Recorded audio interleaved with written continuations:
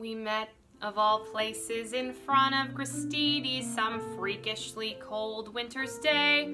I had on several unflattering layers of wool. He slipped on the ice with his grocery bags full. So I rescued some Froot Loops he dropped by the curb, and he made some remark that my smile was superb. I thought that was sweet, and I started to go, and he said, hey, what you doing tomorrow? Because I'll be here at the corner of Bleecker and Mercer tomorrow at seven.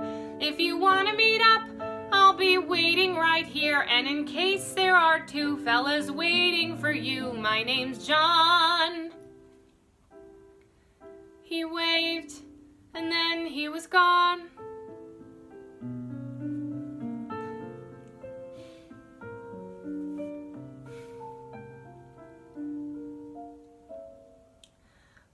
Needless to say, I went back there to meet him, mostly to see if he'd show.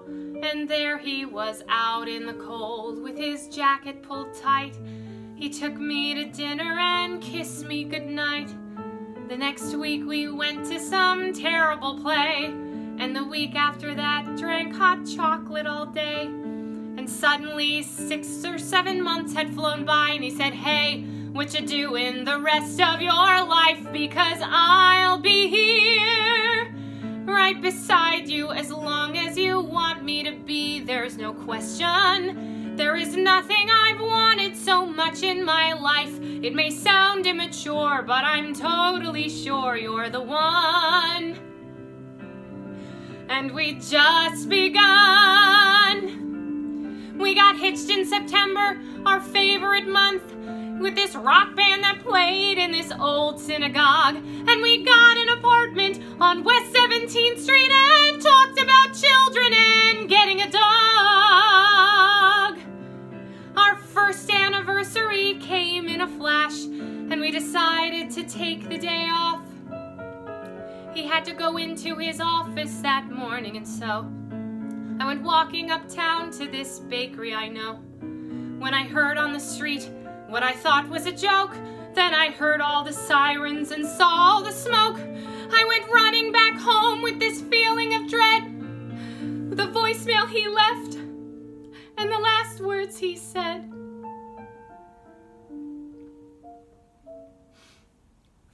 I'm sorry. I don't mean to ruin your evening by bringing up all of this stuff. You're probably wondering why I even called you tonight. Well, today something happened that spooked me all right. I saw this storm cloud of papers fall down from the sky. And I thought of that day, and I started to cry. When I, sure as I breathe, I heard John in my ear saying, hey, you're allowed to move on. It's okay because I'll be here.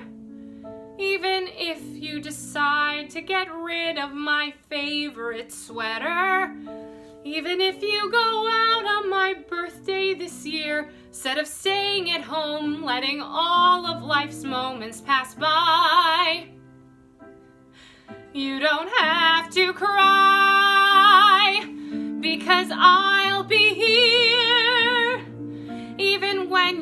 going to places that we went together.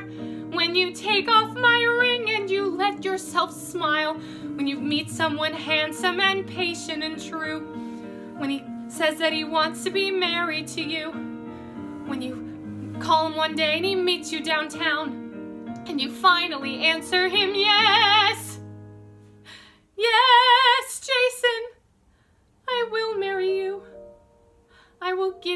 Heart.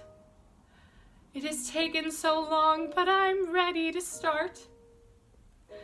Right now, John's whispering congrats in my ear because I finally am able to tell you I will be.